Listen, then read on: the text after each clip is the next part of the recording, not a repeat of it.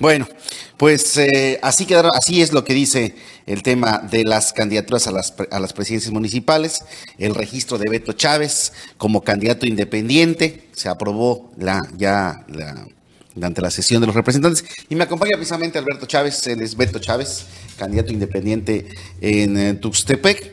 Eh, el tercero en la historia de Tuxtepec. en el proceso electoral pasado hubo dos candidatos independientes.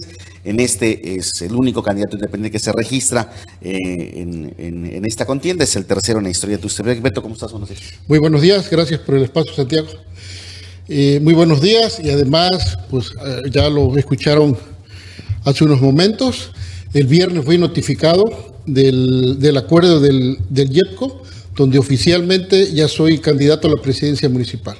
Fui el único candidato que se registró aquí en Tustepec. Los demás lo hicieron de manera foránea y en cierta forma en lo oscurito en la ciudad de Oaxaca. Todavía que a la fecha todavía no se saben algunas cuestiones y definiciones en los partidos.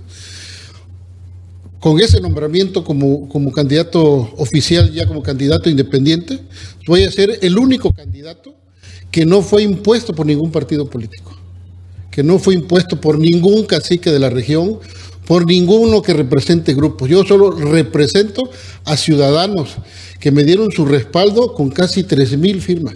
Estoy aquí y logré ese objetivo gracias a ese apoyo ciudadano, lo cual es el inicio de otras tareas más y de otros esfuerzos más que una suma de voluntarios que van a encabezar la campaña a partir del, día 29 de mayo. Vamos a hacer ese esfuerzo para lograr ahora el objetivo que nos falta, que es lograr la presidencia municipal de Tustepec.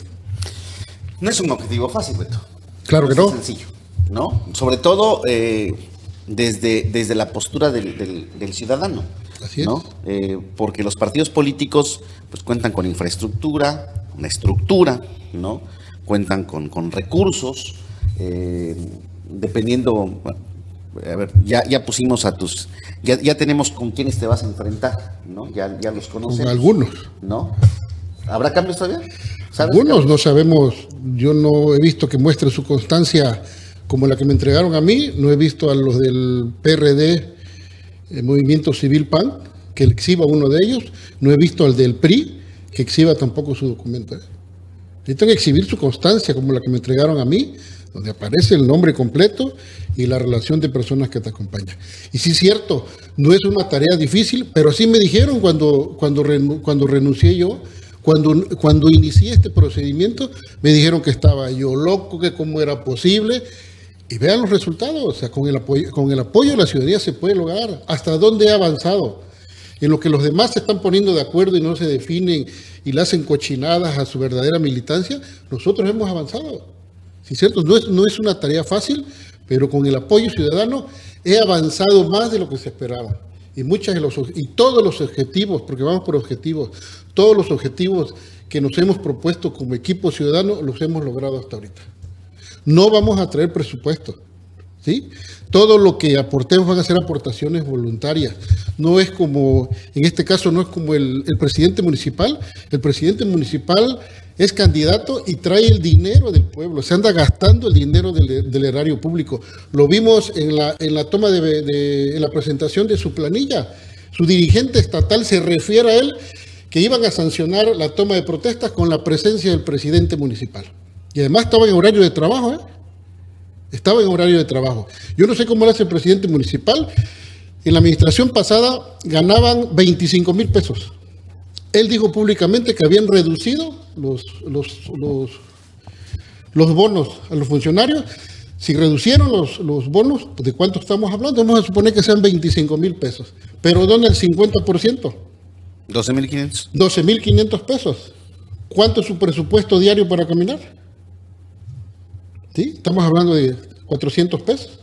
400 pesos diarios, con 400 pesos diarios hace toda esa movilización para ir a Oaxaca, andar en comunidades, traen gasolina, traen dinero, pagaron el evento con recursos del erario público, porque si no, ¿cómo le hace?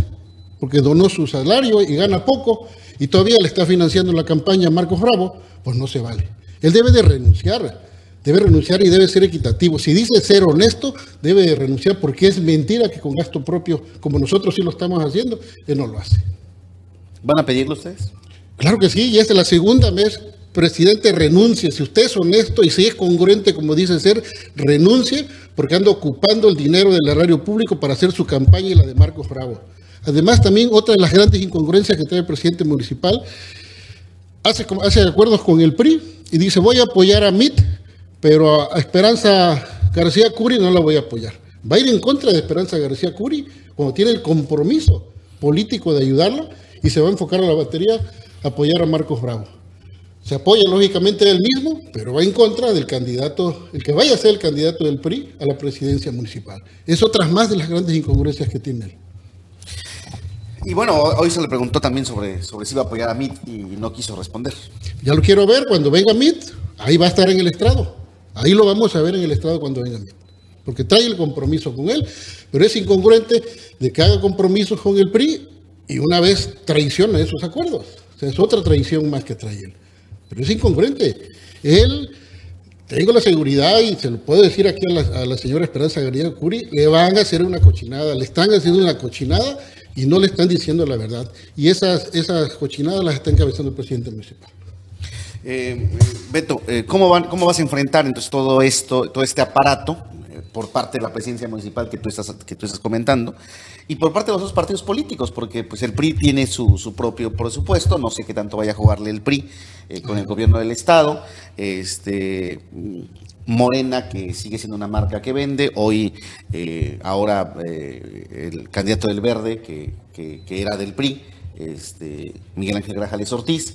Eh, ¿Cómo enfrentar todo esto? Que van a ser tus, tus, enemigos. Ah, claro, o sea, nosotros enfrentamos a un, a un, monstruo que se han creado a través de, la, de los tiempos, pero ese es el gran reto. Yo siento que son, pero es más, así como ellos tienen eso, es más el hartazgo de la, de la, sociedad, es más el hartazgo de la ciudadanía hacia los partidos políticos. Yo he ido sumando, he ido sumando, yo les pongo ese ejemplo que comencé con 30, con 30 voluntarios y terminé con 192. Yo, yo, mi equipo, este equipo, este equipo ciudadano, vamos a comenzar casi con el triple de apoyo que el mismo voto duro del verde ecologista.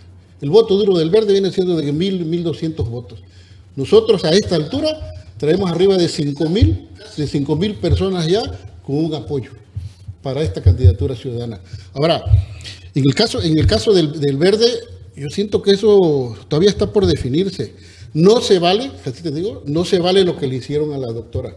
Yo no tengo el gusto de, conocer en persona a la doctora, pero las referencias que tengo de ella, que es una mujer muy valiosa, es una mujer muy inteligente, ¿sí? capaz para poder desempeñar tanto la candidatura como por ser una excelente presidenta municipal. No se vale lo que le hicieron. Esas son las cosas que no se valen en los partidos políticos. Por eso fue una de las tantas decisiones que de manera personal eh, valoré para poderme renunciar al partido que yo pertenecía.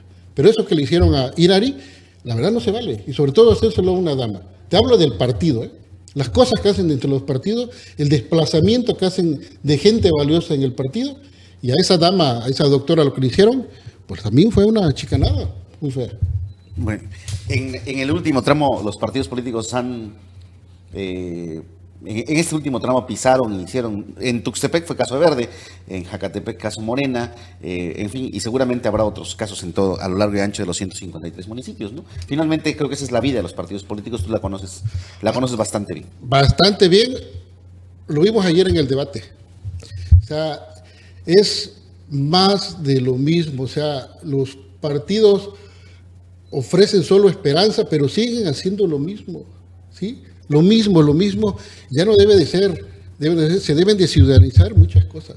En el caso del Bronco, pues, que es el candidato independiente, o sea, yo estoy en contra de que la violencia se combata con violencia. Ahí sí coincido con alguno de ellos, o creo que con la mayoría, que hay que ciudadanizar al Poder Judicial. Pero la violencia no se combate con violencia pero sí hay que ciudadanizar ciertos órganos. Pero los partidos los, los rebasó ya la realidad del país. La realidad social de nuestro país es otro y ellos traen otra dimensión de las cosas, muy ajena a lo que pasa acá abajo. Pero no estás de acuerdo con el Bronco de que mocharle la mano. Ah, claro que no. La violencia no se debe combatir con violencia. ¿sí? Debe de haber otros métodos. No podemos regresar ahí a, los inicios del, derecho. Pues, ¿sí? Se debe ciudadanizar el Poder Judicial, debe ser un poder independiente para que tenga esa certeza en la aplicación de la ley. Beto, pues vamos a estar atentos. Eh, ya tendremos oportunidad de platicar más y seguramente las propuestas. Hoy no podemos hablar de propuestas aún porque no estamos todavía en la campaña, pero sí de, la visión que puedes tener como candidato independiente a la presidencia municipal de Tustepec. ¿Algo más que? No, algo más. Invitar, invitar a la ciudadanía que se sumen a alguna convocatoria pública. Aquellos que deseen participar en este proyecto ciudadano, que se sumen. Es una convocatoria pública y algo voluntario. El, sumarse a este esfuerzo implica tiempo, dinero y esfuerzo de manera particular. Aquí nuestra campaña no le vamos a pagar a nadie, todo es voluntario y es con el esfuerzo de todos. Los invito a que se sumen a este proyecto en el cual he ido creciendo, hemos ido caminando y tengo la seguridad que vamos a lograr el, objetivo. Porque con los ciudadanos esa certeza de que se pueden hacer gobiernos diferentes. Y tengo la fe porque tengo la capacidad y tengo la experiencia para ser presidente municipal. Te agradezco el espacio. Beto, gracias mucho. Gracias. gracias, Beto Chávez. Vamos a una pausa, enseguida regresamos.